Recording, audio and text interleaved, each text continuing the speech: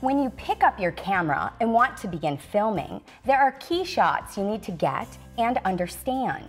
You can work them into your shot list and are necessary for any production, whether it be a 30 second spot or a major production. So before showing you how we get these, you need to understand what they are. The master shot establishes the scene, usually a wide angle shot. A cutaway fills a gap in the story, while a point of view takes the subject's perspective. Reveals takes the audience into a scene. While tracking allows you to move the camera. In a static shot, action occurs while the camera remains in the same place. You can allow the subject to move through the frame or the subject can address the camera. The transitional shot takes the viewer from one sequence of the story to the next. Any shot you record, you want to try and get three to four extra seconds, so when you go to edit, you have time for your transitions. This is called a handle and is extra footage at the beginning and end of your clip. Also, when composing scenes, you need to be aware of the rule of thirds. We try and avoid putting something directly into the center of the frame because it is not pleasing to the eye. With video, you need to apply this rule with regards to motion and action too. There are some exceptions to this, like if the subject is playing to the camera. When you go to the editing room, you will be very frustrated if your shots just suddenly appear in the center of the frame. You need to frame your subject going left to right, right to left,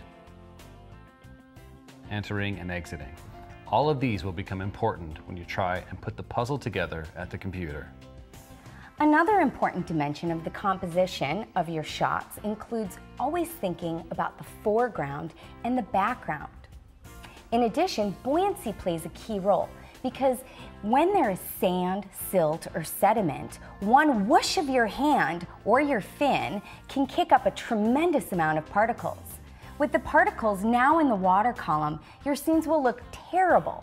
That is why you want to always be streamlined and have excellent buoyancy you can gracefully lift off a sandy or silty bottom if you practice. The backgrounds are very important when composing your scenes. Do you want a blue water background, a reef? What is it that you want your viewers to see? Backgrounds can be very distracting or they can make the shot. Also, the wrong foreground can be distracting to your subject. You want to avoid being far away and zooming in. You need to be able to get close to your subjects and put your subjects in the foreground. When shooting wide angle, you want to combine the rule of thirds with foreground and background subjects. In very basic terms, wide, medium, and close-up shots edited together make a sequence. The wide shot sets the scene and draws the viewer into the story. The medium shot introduces the subjects and the close-ups make the viewer focus in on something of importance. You need a wide variety of these types of shots to tell your story visually. You also need to move the camera around and give the viewer different angles. This also helps when you finally sit down to edit. You can take advantage of the standard shots, such as medium wide shots, medium close-up, and extreme close-up shots. Again, a variety helps when you sit down at the computer. Choosing from different cutaways and transitional shots makes it easier for you to take the viewer from one sequence to the next. So, quick review. You need an establishing master shot, usually a wide angle, and a variety of medium and close-ups used as cutaways and transitional shots, filling gaps while moving your story from one sequence to the next. To understand this concept, start paying attention to the visual cues all around you. Watch your favorite movie watch it again, and this time pay attention to what is happening on the screen from a director's point of view.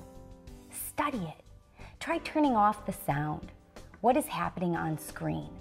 Watch just one scene. How many different shots make that one scene?